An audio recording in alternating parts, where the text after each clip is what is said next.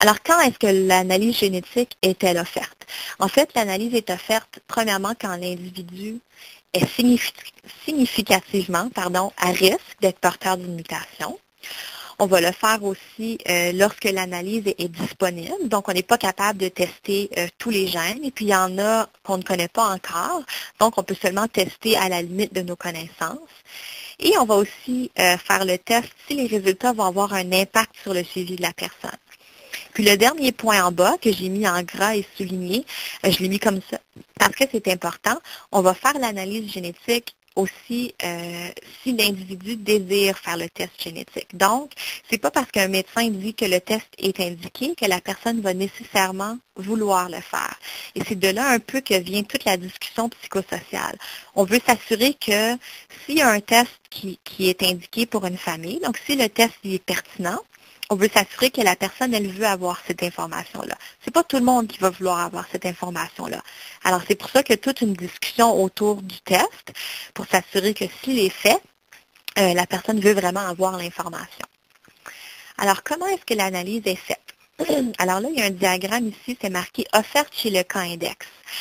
Puis le cas index, si on veut, c'est la personne dans la famille ou une des personnes dans la famille qui a un cancer qui est associé au syndrome qu'on questionne.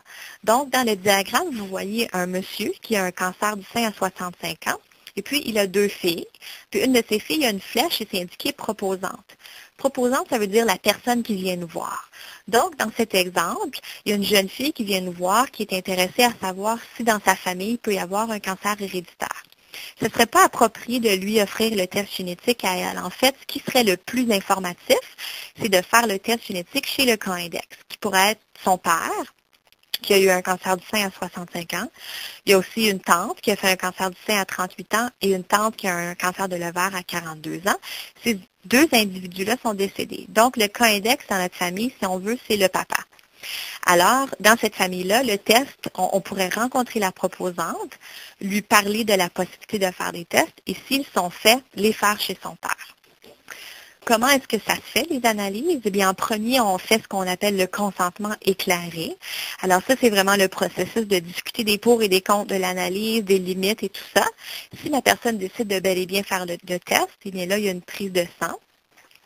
Et ensuite, euh, notre information génétique qu'on obtient dans la prise de sang est envoyée dans des laboratoires spécialisés euh, qui vont faire les tests. Donc, ce qu'ils vont faire, c'est, si on veut lire le gène, donc lire le code génétique des gènes qu'on va demander, donc par exemple BRCA1 pour un cancer de l'ovaire, et voir s'il y a une faute d'orthographe.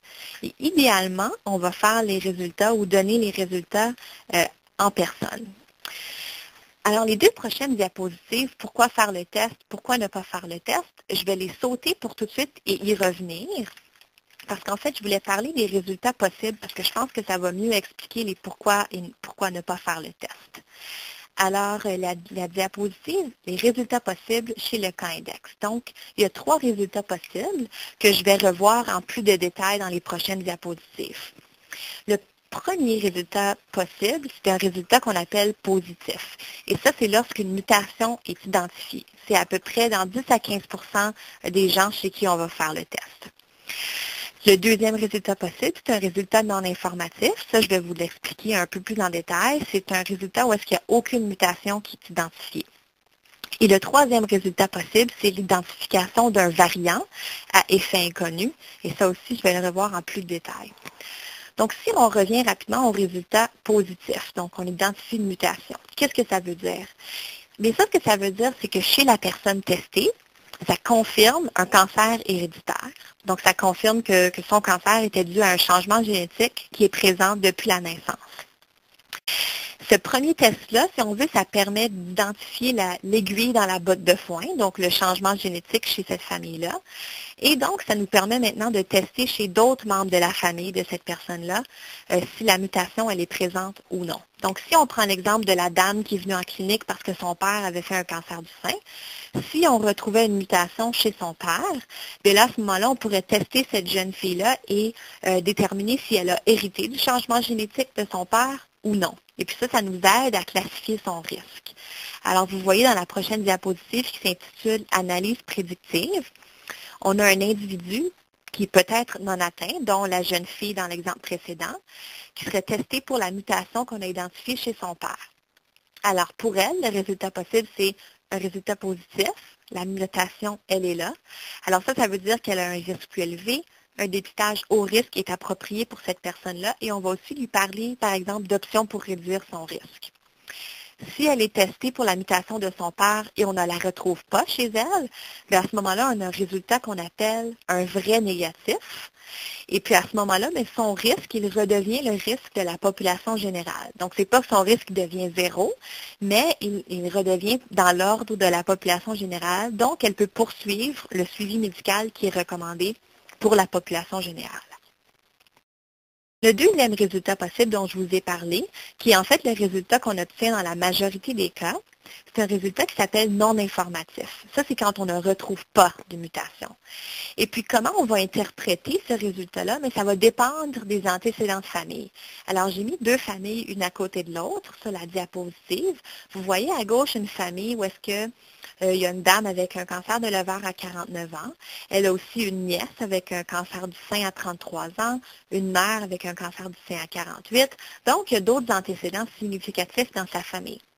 Si on fait le test chez cette personne-là et on ne retrouve pas de mutation, on n'est pas capable de dire, ça veut dire que le cancer n'est pas héréditaire.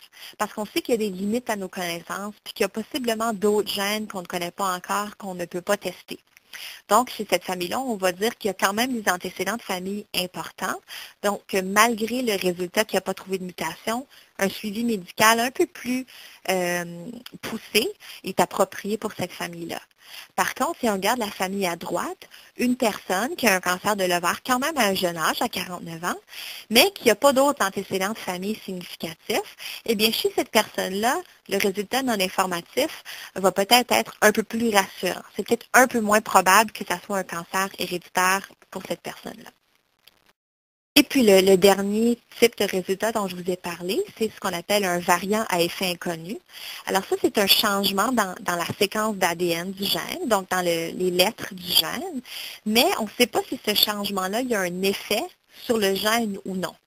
Alors ça, ça démontre vraiment bien la limite, en fait, de nos connaissances, puis que la génétique n'a pas toutes les réponses, si on veut. Il y a quand même des limites à ce qu'on connaît ce genre de résultat-là ne permettrait pas d'offrir une analyse prédictive. Donc, on ne pourrait pas tester, par exemple, euh, la sœur non atteinte d'une personne qui a un variant, puis lui dire euh, son risque d'après son résultat, parce que, en fait, on ne sait pas comment interpréter ce résultat-là. Ce résultat-là, comme le dernier, n'exclut pas la possibilité d'un syndrome héréditaire. Euh, parfois, dans les familles où on trouve un variant, on peut faire une étude familiale où est-ce qu'on teste, par exemple, toutes les personnes qui ont fait des cancers dans la famille, puis on voit est-ce que le variant est là ou non. Puis si le variant est présent chez toutes les personnes qui ont un cancer, puis qui n'est pas présent chez toutes les personnes qui n'ont pas de cancer, bien là, ça peut nous aider à, déterminer est-ce qu'il est, est, qu est causatif ou non. Et puis le dernier point, reclassification, en fait, c'est parce que euh, les laboratoires spécialisés où on envoie euh, les tests pour être faits, bien, ils font des tests pour, euh, en fait, plusieurs gens. Donc, c'est des laboratoires, par exemple, aux États-Unis qui vont faire les tests. Et il y a beaucoup d'échantillons qui sont envoyés là. Alors, s'ils retrouvent un variant chez une patiente de notre clinique, par exemple, et que là, dans les prochaines années, bien, ils le retrouvent chez 60 autres personnes qui ont fait des cancers, et là, parfois, ils vont nous envoyer un nouveau rapport qui va dire, bon, ce changement-là qu'on avait trouvé, on pensait que c'était un variant, mais maintenant on pense que c'est une mutation. Alors souvent, il y a la chance que euh, la, science se rattrape et qu'on est capable de les interpréter. Alors, je reviens aux, diapositives. Euh, pourquoi faire le test? Pourquoi ne pas faire le test? Alors, pourquoi le faire? Ça peut aider à, clarifier le niveau de risque de cancer dans une famille et aider à recommander un suivi médical adapté pour les personnes dans une famille. Ça peut aussi parfois confirmer un diagnostic. Donc, par exemple, si une personne est référée parce qu'il y a un cancer de l'ovaire, elle a un type de cancer de l'ovaire très rare, puis finalement, on est capable d'identifier qu'il y a un autre euh, syndrome spécifique dans cette famille-là qui a des implications différentes. Donc, parfois, ça peut être important parce que ça peut donner des informations qu'on ne pensait pas que ça allait donner. Et puis, il y a aussi la possibilité de faire des analyses prédictives dans la famille si on identifie une mutation. Et ça peut aussi parfois réduire l'anxiété d'une personne de faire le test. Pourquoi ne pas faire le test? Alors, euh, il y a la possibilité d'un résultat non informatif, donc le résultat où on ne retrouve pas de mutation. Et ça, ça peut parfois donner un faux sentiment de sécurité à une personne. Donc, ils se disent, parce qu'il n'y a pas de mutation, ben, j'ai pas besoin de faire mon dépistage parce que c'est probablement pas héréditaire. Donc, parfois, euh, ça peut être une raison de ne pas faire le test. Aussi, s'il y a de la pression venant de d'autres membres de la famille, ce n'est pas nécessairement la meilleure raison, ça, de décider de faire un test génétique. Ça peut augmenter l'anxiété. Euh, le temps d'attente pour les résultats peut augmenter l'anxiété, tout comme les résultats pourraient aussi augmenter l'anxiété. Parce que la génétique, ça implique pas seulement la personne qui est devant nous, mais aussi sa famille. Ça peut aussi avoir un impact sur les relations familiales. Alors, c'est important de considérer ça aussi lorsqu'on décide de faire le test ou non.